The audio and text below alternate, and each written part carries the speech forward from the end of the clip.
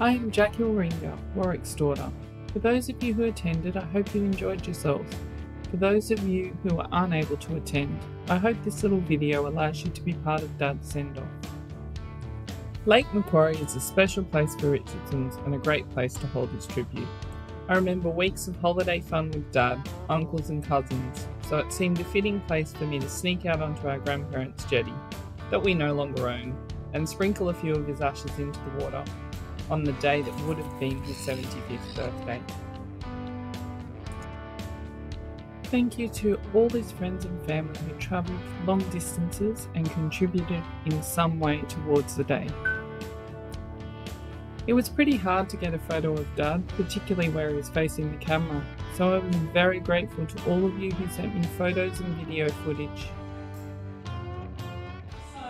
Thank you for coming today to give us all a chance to sit around and tell lots of stories, and probably lots of lies, I suspect, about the man that Warwick Richardson was. For those of you that don't know me, my name is Penny, and Warwick and I were partners for a few years, and I'm very proud to say good mates for the next 25 years. It wasn't easy for Warwick to have a woman, particularly one who was an ex-partner for a friend, because apparently women have too many holes under their toes. Uh, but I insisted on staying friends with him. I still have had a lifetime of knowledge I wanted to learn from him, and let's face it, he was the gatekeeper for the best barra fishing around, so it was important we all have an opportunity to do that. I'm not going to say too much about him because he hated eulogies and said that people should say the things they wanted to say about a person to the person when they were alive. I think I'm right though because I suspect I said everything I'm going to say today to him probably while he was still here. Those of you that know him know the man he was, and in particular the horseman that he was. There wasn't any of our horses that didn't do tricks and carry flags or bow or take the hat off your head and it was beautiful to watch him ride, even though I only got to watch him ride later on in his life. Even after we split, if anything was wrong with any of our horses, I would ring him straight away and generally get the solution that was right on. He had the most wonderful remedies and recipes to treat almost anything to do with horses, and I remember often being frustrated that he was very casual about having that knowledge and not sharing it. Don't despair though, I followed him around with a notebook. Um, so we still have all the notes on, and the remedies for Queensland itch, sarcoids, rubs and galls, colics, wounds, distended carbo in dogs, as well as how to make the best saddle grease you could ever want to make and tan any type of skin that you would ever want to tan, and even some skins you wouldn't want to tan. but they, they're all still there. Jackie and I put together some information and forward it to anyone that wants to have it. He was a funny bugger along with being one of the cleverest and most capable men I've ever met. The two younger brothers, Tommy, Murray was his name, but called him Tommy, and Blow, were quite critical of Warwick's auto electrical skills, so pleased to tell you about the old car that he rewired when he was much younger. Apparently when you turn the blinker on, the windscreen wipers went, and vice versa. I, suspect it might have been quite a while before that actually, but there's new faces for me here too today, which is wonderful. There are friends from his early days at Dubbo and from Marion to Toowoomba and the Gulf.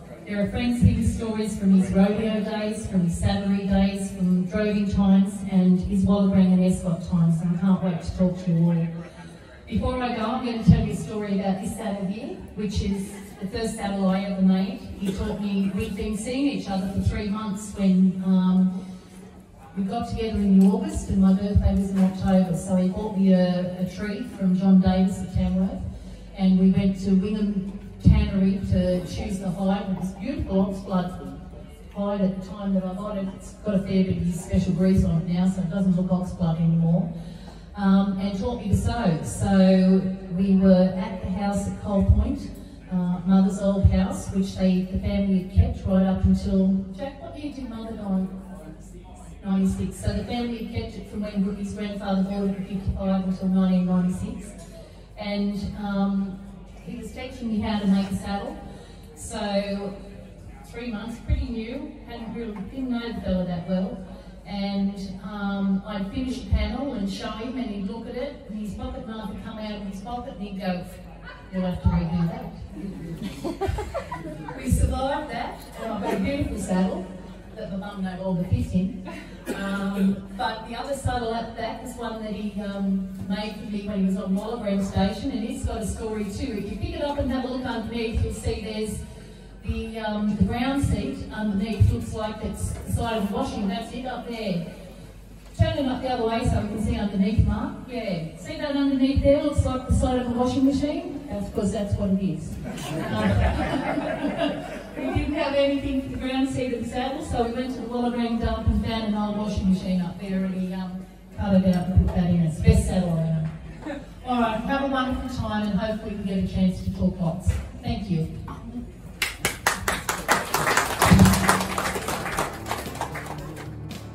I must thank Penny for the amazing job she did emceeing, greeting guests, organising playlists, entertaining, and generally keeping things running smoothly.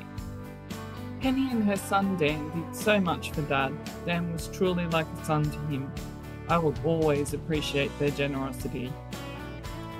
Speaking of generosity, Clint, Emily, and the Golem family would have loved to be there. They took Dad into their home, looked after him, and cared for him. He adored their children, and I will always be so grateful to them for making Dad's last days such happy ones.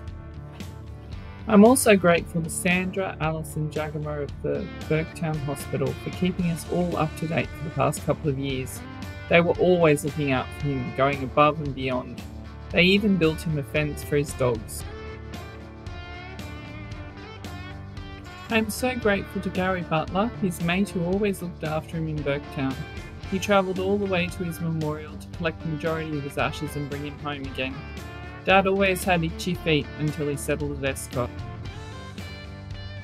It was also great that Kenny Booth, Will, and Barb Hitchner and Clinton Murray travelled all the way from North Queensland. I was so pleased that Uncle Blow's daughter Ayla and her whole family travelled here from Capella near Emerald.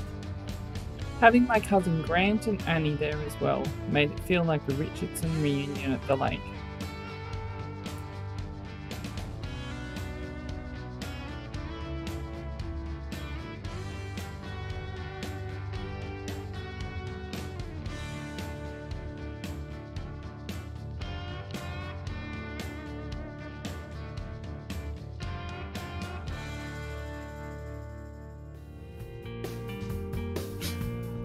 Thank you to Barry Litchfield for the framed photo and gifting us a fantastic whip my dad made nearly 50 years ago.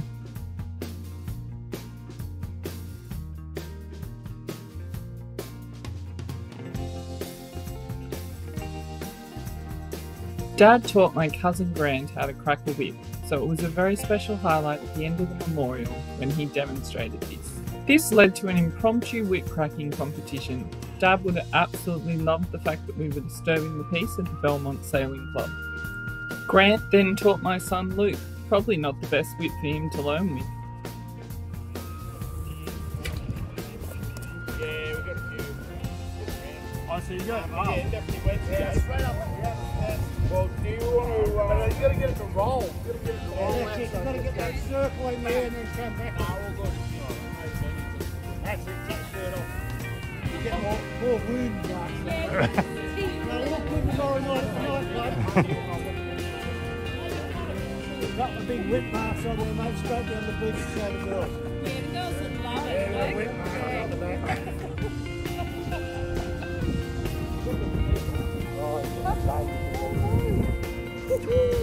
Yeah.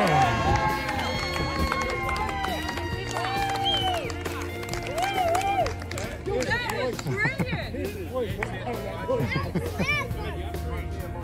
on you, bud. Hey. It's the Warwick. Yeah, yeah, yeah.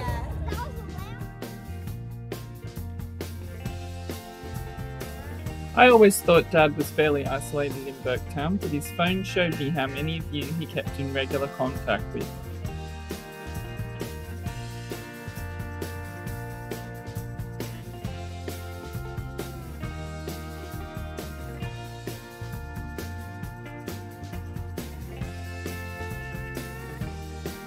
Kennedy, the wife of the previous manager of Escott, took this wonderful photo of Dad. He was excited to send the original to me, complete with its blue ribbon from the Cloncurry show. I often used to talk to Dad at 6 in the morning, and that's when I miss him the most. I'd ask him if it was too early, and he'd say he'd been up for hours and I must have slept in. You are all an important connection to my father, and I hope you keep in touch. And now, as Dad always said, Roger.